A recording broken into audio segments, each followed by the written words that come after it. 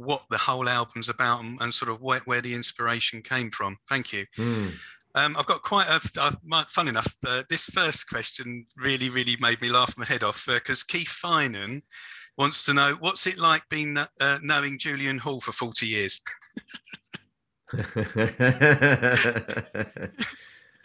well, uh, I suppose you know it's the opposite of changes. There's some things never change.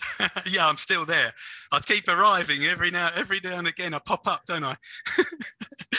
no, his his real question was, um, what would you have done if you weren't a musician? Well, uh, hard to say, but uh, I always used to say because I I used to really enjoy geography as a subject. Okay. And geology as part of that, and I was fascinated. Still, am fascinated by landscapes and rocks, and you know, um, going somewhere. And I mean, there's a lot of places up here in Scotland, for example, where you go somewhere and you you see where the land's been twisted up, and you learn that this used to be ocean, or this used to be a mountain, and mm. you know, or or this rock is like uh, goes back, you know, millions of years. And uh, so I like to think that I might have been a geologist okay. um, uh, because that was one thing that might have interested me. I mean, the other thing, possibly painting, because I used to, hmm. music and art were both a big thing when I was young. You know, when I went into the sitting room, which, as I said, was kind of our music room, you know, I used to do a lot of drawing in particular. I'd put on a record and, and just draw free freehand to it, just compose stuff. And uh, the music kind of took over. But that was always something that I was interested in doing. And I suppose now photography is kind of my visual art um, way of expressing myself. You know, mm. often see me behind a camera. Yeah, funny enough, for you you were filming when you filmed Pete playing Gary's drums in Sheffield in '91, weren't you? With a great big, one of them great big cam Well, uh, yeah, I mean, it was actually even more astonishing. I actually filmed us rocking up outside the, the Yes, you did, didn't you? City Hall at Sheffield, and and I and I realised when I look back at the footage, you know, that I I saw Pete actually going yes. and you know, kind of saying hi and wanting it, his, his autograph yes. and stuff. Yeah, I, I'd kind of remembered that I had filmed the sound check. I mean, Pete, when he joined the band, he was talking about that and saying that he remembered with my with my camera. And then when I look, I found all of this footage. So uh, fantastic, fantastic. And isn't now that is fate, isn't it? That is amazing. Yeah. That story, absolutely. Yeah, it is. It is. Um, Norman Bright uh, just wanted to know: um, Did you enjoy uh, doing the War of the Worlds with Gary Barlow uh, during lockdown?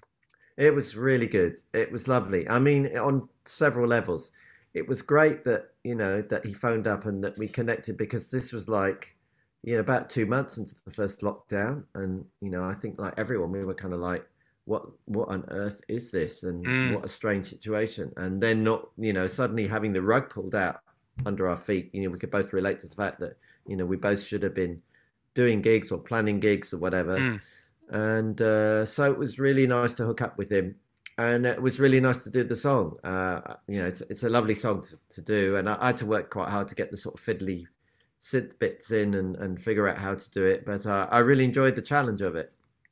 Excellent. I think. Um, let me see. I've got. Uh, oh, um, yeah. Both Peter Phelps and Siminatus uh, said, if you could do a cover version, who who um, who would it be of if you could do a cover version? It, it would be most likely a Stevie thing because you know he's probably my biggest hero and one of my biggest influence. So if someone said do a cover version, it would be a Stevie song. Brilliant. Okay.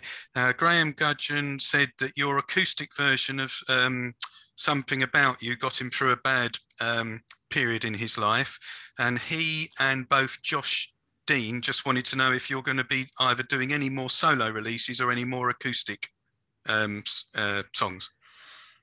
That's that's a really lovely thing to hear. You know, thank you. Um, that's amazing. Um, I am planning to do once Changes Two is done, which you know is now going to take a bit longer to do because of COVID and all of that. Ah. But once that's done, um, then I'm planning to do uh, another piano album. but I also have a project in my mind of doing a like you know acoustic versions, like mic'd mic versions of level songs, uh, of which I would include something about you in that. Um, okay. Um, and I, in fact, I started working on some demos for that as an idea a few years ago with Kipper, um, who I did the On the One EP. He produced the On the One EP with me, but it never got further than that, unfortunately. So it's still it's still an idea, but I mean, what I want to do after changes is to do an instrumental piano album because I've got some really good ideas that I've been knocking at the door for a, a while now and saying we need to get out. And uh, so, uh, and then maybe an acoustic, you know, song album of some kind, maybe going into more of my kind of folk mm. influences. That's a possibility.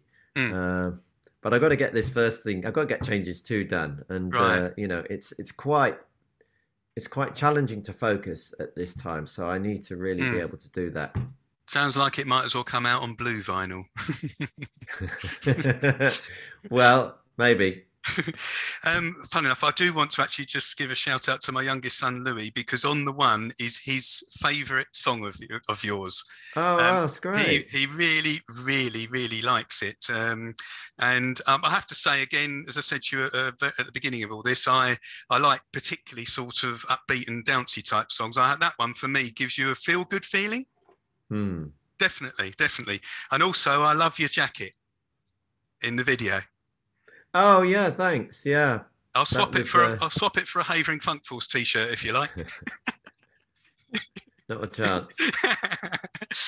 um, Johnny in the USA just says, "Is there any plans for Level Forty Two to come back to the states? Any idea?" God, yeah. You know, uh, it's been asked many times by uh, mm. fans in the US, and I'm afraid it's you know it's something that we'd love to do, mm. uh, but it's it's quite a difficult thing to do logistically and financially because to actually come to the states we've got to be able to you know bring the production or at least some of it over uh, at least you know bring some of our instruments over and uh, it, it's just i mean i don't know the ins and outs of it because i don't deal with the money but i just yeah, yeah. know that it, it's it's it's really difficult to do that and and you know not come away with a loss, which is what we did with the 30th anniversary tour there. Really, right? You know, okay. Even though we had really good audiences and most places were, were full, mm. you know, it was still it was still done at a loss. So, right. uh,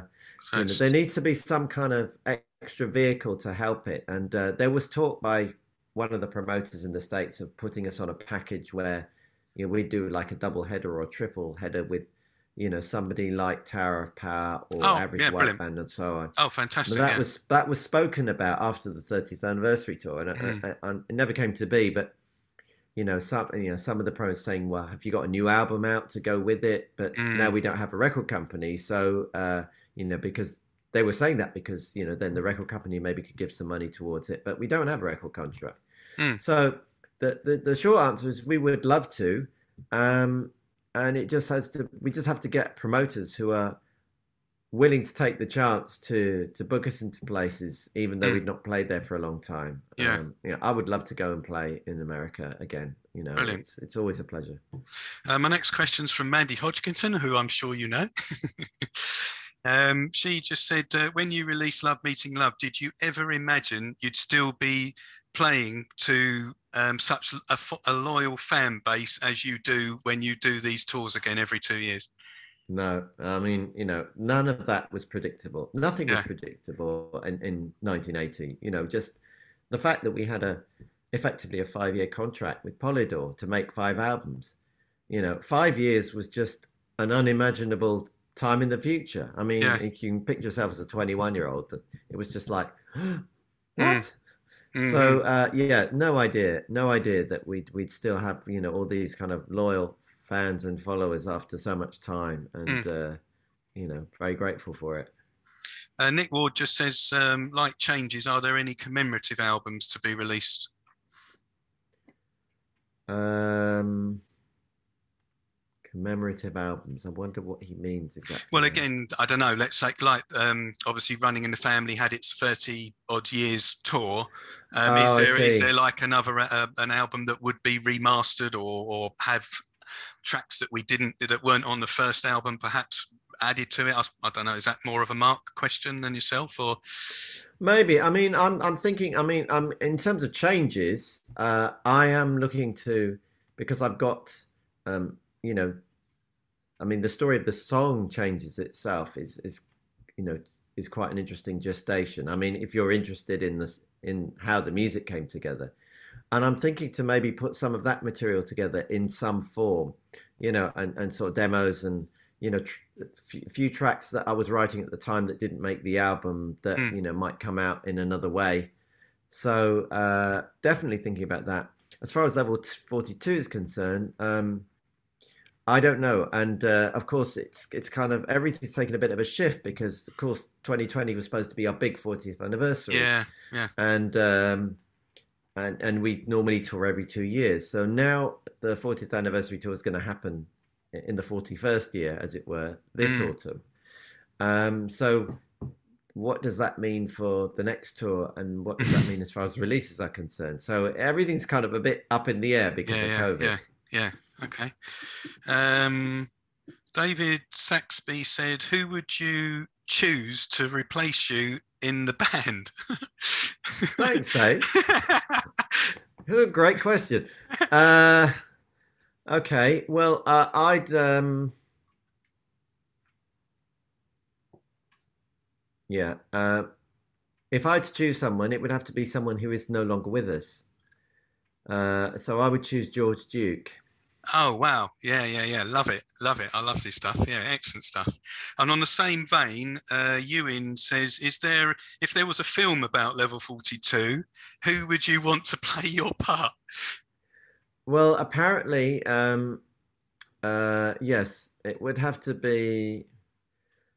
Yeah, if I don't know. Um, depends whether they needed to look like me or whether they needed to sound like me or whether they needed Yeah. to play like me. Yeah, yeah, Um, so I don't think there's one person that, could do that. So you'd have to get a, a, a lookalike with someone else doing the the, the singing and, and the and the keyboards, Yeah, or yeah. or vice versa. So I mean, the person that comes to mind because I always used to get compared to him was uh, Jeremy Guscott, but um, but you know, again, if you're talking a young me, I don't know. Um, Okay, and uh, Joseph Isley said, "How young were you when you discovered you could sing falsetto?" Well, uh, I don't know if I really discovered it. I think it was just something that I could do. Um, Obviously, you know, uh, well, not obviously. I used to sing in school choir productions, you know, primary school and middle school, and then of course my voice broke some point during middle school. I can't really remember much about that. But uh, it's you know, singing falsetto is something I've always been able to do, and uh, it just so happened that when Level started, um, there were uh, quite a few instances where it was suggested that I sing the octave up, um, you know, kind of being, I suppose, influenced sort of in a way by, you know, hearing all the kind of soul stuff and Earth, Wind and Fire and, and so Mm. on. And also, often Phil would compose melodies in that register, in a kind of falsetto register. And, you know, if he composed part of the melody of a song and I was singing it, then I'd be singing it as he sang it to me. So it just came naturally. Mm. Um, so it, it it really wasn't a discovery. It was just something that I could do. And uh, but I mean, you know, it was kind of fairly dodgy in the first instance, but just loads of gigs and loads of recordings. Just kind of got better at it with practice. And he also wanted to know if you've still got your original vo- vocoder used in MicroKid. No, I sold it. Um, Ah. I, I sold it because uh, it, you know, I wasn't using it, and uh, it was kind of just sitting there gathering dust. And I thought, well, what's the point of that? Mm. And I knew that there were, um, you know, different newer versions. And I thought, I'm just keeping this old one of nostalgia, but actually, it's, you know, it's it's it's a great one. It's a Roland one. I mean, it has a particularly unique sound, but because it was so old, it was actually all also a bit scratchy and noisy, and mm. uh, um, you know, it had a hum which I had managed to get rid of. And I thought, you know, I just having a clear up one day and thinking, okay, stuff that I haven't used for years and I'm not likely to use. The last time I used my vocoder, that Roland one, was on the um, the Metropolis. Gig. Oh right, yeah, yeah, yeah. And uh, yeah, but now it's now it's gone to somebody else, so I don't have it anymore. Sorry. Uh, Ronald in Germany wants you to put any songs from Changes just playing the piano on YouTube. Does he now? Yes. Okay. Well, I will consider that, Ronald in Germany. And, Excellent. Uh, no, but that's yeah, not bad. That's not bad to send a request in like that, is it? And yeah, it why not? be answered. Why uh, not? Paul Nyman and Brian Ackers wanted to know what's kept you creative during lockdown. Very good question. Um, well, having a project is is a great one for a start. So as changes, well as changes, changes too. Yeah. Mm. Um, also, I'm you know starting to write um, uh, another musical with uh, my collaborator Barbara Younger, who you know we wrote the the songs for the Liver Birds uh, musical, which came out in 2018. Mm. So we're working on that together, and um, yeah, what else have I been doing during lockdown? Um, I mean, I haven't been as productive as I would have liked which is a story I've heard echoed from other people when I've been listening right. to the radio. It's funny because, you know, the, the, the initial thought was, great, I've got all this time. Yeah. So I can be super productive. And actually, what I discovered was getting stuff done became five times as hard. Mm. And, uh, um, you know, almost like, you know, pushing a boulder uphill. Right. Um, so it was, you know, it's been, it's been very challenging. So but I have. Sorry, a slight bit of leth- leth- lethargy, lethargy, lethargy. Uh, it's motivation. It's kind of ah. like in your head wanting to, to do stuff, but actually getting on and doing it, just finding it mm. really difficult. And and I think uh, you know that's part of the whole kind of mental, mm. the mental health thing yes. has been a huge thing, and being able to, you know, have Zoom calls and and phone calls has been great but not actually being able to mix and mingle. Yeah. Even in casual situations, you know, people you bump into at the shop and mm. you hmm. know say, oh, you know, talk about the weather and so on. All of those small interactions taken away, I've realised how much of a a social being I am individually, right. and uh, you know, I always thought of myself as being somewhat of a loner, or being able to do that. You know, often I'd take myself off when we are on hmm. tour. Mm. I'd get up early, go for a walk, look around, take my camera out. You know, not party at the back of the bus after the gigs when we were mm. traveling mm. overnight so much. I'd always be kind of going to bed early to try and get my beauty sleep, look after my voice, blah blah blah. And I've realised I've been I don't regret doing that because that's kind of, you know, now I'm 61. It's necessary. It's part of the, if you like, the, the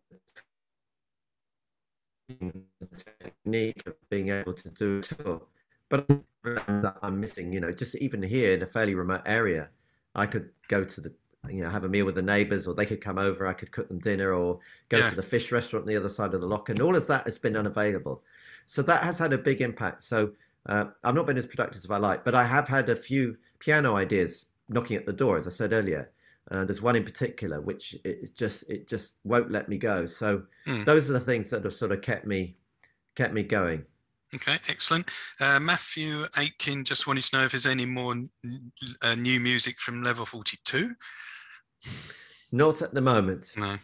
No, um, I'm sorry, I can't give any sort of better news than that. No. I mean, you know, we, we have an intention to write stuff, and you know, we have writ, lit, written a few ideas and sent them to each other, but there's no kind of mm. you know recording project on the horizon as we speak. Okay, and Lee in Australia said, if there was a track, uh, is there a track that you haven't played in ages that you'd love to?